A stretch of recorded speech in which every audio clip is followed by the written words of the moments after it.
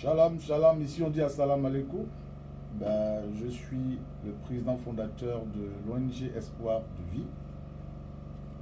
Alors, je vous parle depuis Nzere-Corée, dans la zone forestière de la Guinée-Conakry. Alors, à l'occasion de cette fête de Ramadan, ben, je souhaite euh, bonne fête de Ramadan à tous les musulmans du monde entier, en particulier celle de Zéro-Corée de la Guinée. Voilà. En tant que président fondateur de cette ONG. Alors, pour nous, c'est une occasion de faire passer un message. Pour moi, c'est une occasion, s'il vous plaît, de faire passer un message. En réalité, la religion ne peut, doit pas nous diviser. Ce sont les impérialistes qui viennent nous diviser à partir de la religion. Parce que la religion, c'est Dieu. Et Dieu, c'est l'amour. Voilà. Si nous aimons Dieu, nous allons aimer l'être humain. Parce que l'être humain est créé à l'image de Dieu. Personne n'a vu Dieu. Personne ne sait s'il a une barbe, euh, si euh, la taille de Dieu. Personne ne l'a vu. C'est tout un mystère. Nous croyons en lui. Mais Dieu se résume dans l'amour. Et Dieu, c'est l'être humain. Car la Bible, en qui je crois, la Bible, parce que je suis chrétien, la Bible dit Dieu a créé l'être humain à, son image. Donc, deux grands commandements, tu aimeras l'éternel, ton Dieu, de toutes tes pensées, de toutes tes forces, et ton prochain comme toi-même. Donc, Dieu, c'est l'amour. Dieu se résume par l'amour. Alors, on ne peut pas prétendre aimer Dieu et puis haïr son prochain. Et même la Bible même dit que celui qui, est, qui est, prétend aimer Dieu et qui est son prochain est un menteur. Ça, c'est le principe.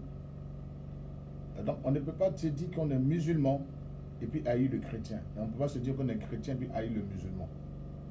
Mais c'est la politique qui vient nous diviser. Et j'ai toujours dit, la politique, vous voyez, vous ne pouvez rien contre ça parce que c'est déjà réglé. Vous voyez?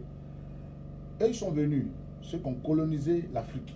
Ils nous ont donné des terres, ils nous ont donné des noms. En fait, pas des terres, autant moi.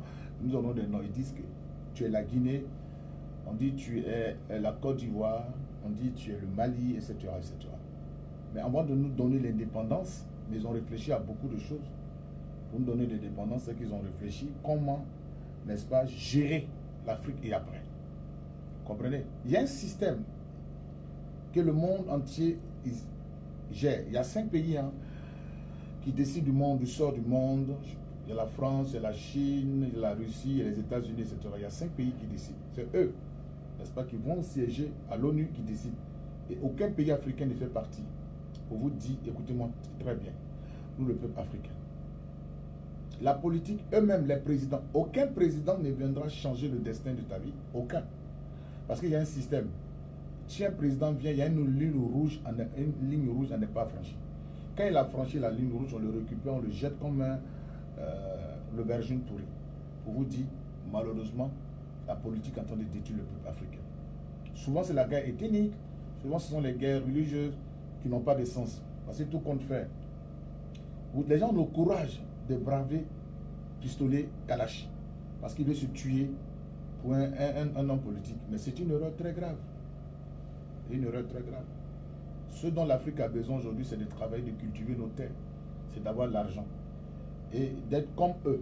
Parce que si nous sommes devenons comme eux. Mais d'aller à l'école et de se faire former. Si nous nous faisons former demain, nous serons à la table à négociation. Tous les pays aujourd'hui, là, regardez un peu le, la Corée du Nord on met les embargos sur, ça ne leur dit rien. Le monsieur, mais dit l'embargo sur lui, puis grossit. Le patron, il est très large, il grossit. Il mange parce qu'il mange criquet, il mange. Il n'a pas besoin d'aller manger chocolat. Lui, il mange ce qui est chez lui, bio. Il mange ce qui est de la Corée du Nord. Ils se sont formés, ils sont restés discrets. Ils se sont formés. Ils ont copié sur le Japon. Le Japon a commencé à parler sur les États-Unis. Les États-Unis envoyé des bombes parce que c'est truc qui allait l'économiser. Ils ont frappé euh, le Japon. Et puis à un moment donné, les Japonais se sont tués, ils ont commencé à fabriquer. Toyota, euh, Nissan que vous voyez là aujourd'hui. Les, Chinois sont regardés parce que si tout discuter, sont plus forts. Se sont ils ont commencé à miser sur l'éducation, la connaissance intellectuelle. Aujourd'hui, ce sont les plus puissants ils se taisent. Mais nous, les Africains, on est tous dans la rue en train de revendiquer. Les Français ne veulent pas qu'on réussisse. C'est Français qui t'empêchent de, fabriquer ton aubergine, de vendre ton aubergine, d'aller cultiver ta terre. Écoutez, le seul problème a à l'Afrique, c'est un problème éducationnel. Quand nous serons intellectuels comme eux, quand nous allons avoir la capacité de transformer nos matières premières, nous serons à la table à négociation. Sinon, c'est la mentalité des politiques, le monde est déjà géré. Ne vous y trompez pas. C'est une erreur, une illusion. Parce que les gens ils pensent qu'un président, encore du coup on a dit, Félix Bobogny est voleur. Henri Bédier est venu, on dit, ah non, lui c'est un économiste, il, sait tout le boulon, tout ça. Ils l'ont fait sauter par un coup d'État. Babo est venu, on dit, Babo il est meilleur, il est bien, il est bien. On dit même, Babo même c'est... Il a choisi, il a choisi même tous ses ministres à son voleur. Après on dit, non, Babo, il n'est pas bon. Ils ont mis à la salle. Aujourd'hui même, il n'y a pas courant, il n'y a pas euh, émergence. Encore du vent, émergence. Écoutez, c'est comme ça le monde. Et c'est pour ça que même à la scène, moi-même, je doute fort. Parce que la France l'a lâché. Parce que si vous voyez, c'est eux qui tiennent l'économie. C'est eux qui tiennent le courant et l'eau. Vous pensez que quoi? C'est eux. Le délestage, ça n'a pas sa raison Côte d'Ivoire. Le monde entier, le monde, la politique est faite de ça. Vous pensez que l'autre est meilleur. Quand l'autre il devient pire. Parce qu'il y a une ligne rouge. Les gens, ils pensent qu'à leur intérêt. Nous, les Africains, nous ne leur disons rien. Nous ne disons rien. Quand ils vont commencer à négocier avec ceux les intérêts, ils vont vouloir. Regardez, ils ont 75% dans notre pays et eux, ils ont, nous, on a 15%. Je ne dis pas des conneries. Hein. Vous pouvez versiquer. Ils ont 75% et nous avons 15%. Vous voulez parler, ils ont des armes. Ils vont venir nous renverser. Allons-y travailler. Quittons la rue. Évitons la politique. Allons travailler. Mettons nos enfants à l'école. Quand ils vont commencer à être des grands pilotes d'avion, des grands pilotes d'avions, de, chasse et tout ça, ils vont commencer à transformer l'uranium en des grandes bombes atomiques, tout ça. Et regardez pourquoi aujourd'hui, on est de parler avec l'Iran. Parce que l'Iran à avoir une force militaire. Je ne vous ai pas dit forcément, il faut aller à l'école pour force militaire. Mais vous dites, si nous avons cette capacité de pouvoir transformer nos matières premières, n'est-ce pas? Les gens viendront négocier avec nous. Il faudrait les attendre sur le plateau de la négociation. Vous avez vu, vous avez compris aujourd'hui, ils, disent débile. Ils disent débile, n'est-ce pas? Il y a une, une, rébellion qui se monte et, les gens montent, ils sont à, 30, à 300 km de Djamena. Du coup, le militaire étant militant lui-même, voilà, il se met dans la danse pour, pour attaquer. Ils l'ont tué. Qui l'a tué? Comment ils l'ont tué? Ça reste aujourd'hui un mystère. Ben, ce qui nous choque, dès qu'il est mort, le, le président français est venu à, à, il a dit à partir d'aujourd'hui, il n'y aura plus de rébellion, c'est fini. Effectivement, en quelques minutes, on les a matés. Ils ont maté cette rébellion. Écoutez-moi très bien. Les Africains, la politique, là, c'est pas fait pour nous. Malheureusement, toute la jeunesse africaine se met dans la politique, pensant que la politique, etc., euh, etc. Nous ne pouvons rien. L'ONG qu'on appelle Espoir de vie, nous luttons pour ça. Nous sommes en train à zéro Corée, en train de faire un travail entre les musulmans et les chrétiens. On a pu aujourd'hui rassembler 100 femmes veuves musulmanes, 100 femmes. Pourquoi les femmes Et pourquoi les veuves? Parce qu'on a de la sagesse, elles sont mariées, elles ont acquis beaucoup de choses. Donc on les met sur le terrain pour, n'est-ce pas, euh, aller vers nos parents et tout ça, pour la paix. Parce que si la Guinée se divise aujourd'hui, parce que c'est ce que les gens cherchent, Dieu, même que Dieu là, il a permis que le Soso soit en Guinée, il a permis que le Guerzé soit en Guinée, il a permis que le Peul soit en Guinée, le Malinké, le Kondiaké. Hein? Et puis vous, décidez de ne pas être ensemble. Mais attendez, Dieu même si vous a mis ensemble, c'est pour vous entendre. Ne laissez pas la politique vous détruire. Que la paix règne sur la Guinée. La paix règne sur la Guinée et la paix, c'est ça. Mon pays qui est la Côte d'Ivoire a connu ce genre de problème. Et que la paix règne sur l'Afrique, en particulier en Guinée, en Côte d'Ivoire, etc., etc.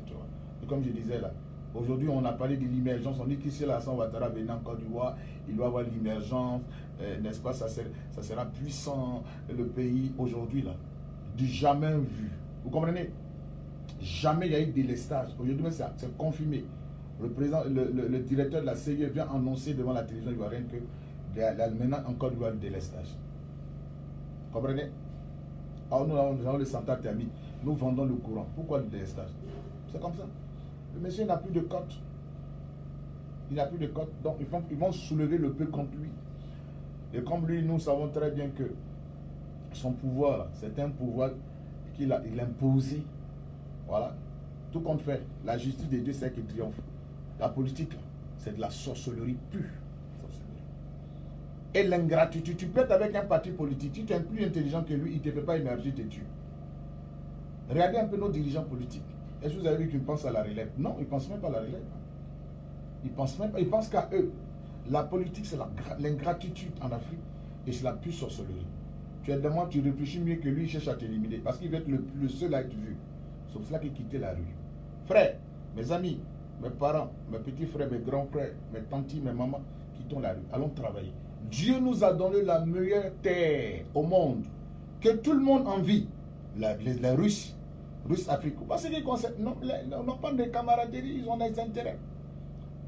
Les Chine, Chine, Afrique, France, Afrique, ils ont pris. C'est ça que nous devons travailler nos terres. Laissons, allons travailler, laissons. Si vous voyez le courage d'être devant euh, une Kalachikon, ça veut dire que vous pouvez aussi avoir le courage de, de, de, pouvoir euh, euh, aller travailler. Travaillons pour que demain, on puisse nous respecter. Si tu es pauvre, on ne te respectera pas. Les gens disent qu'ils sont pauvres, l'Afrique. Non, c'est une illusion. Un mensonge grave. Le continent africain est un scandale géologique. Alors, travaillons et envoyons nos enfants à l'école. Pour que demain, on puisse nous respecter. Il faut qu'on nous respecte. Alors, c'était le président fondateur, Joël Crasso. Donc, le nom, c'est Ag Bashi Mohamed Oumar. Alors, salam alaikum. Euh, bonne fête de Ramadan. Il mange moins. On attend vos poulets, hein, vous les gens de Zéro Corée. On est ensemble. Quittons la politique, travaillons. Alors bossez. Laissons la politique aux politiciens et nous travaillons pour qu'on puisse nous respecter. Assalamu alaikum. Voilà. On est ensemble. Ça veut dire shalom. Voilà. Assalamu alaikum, c'est shalom. On est ensemble.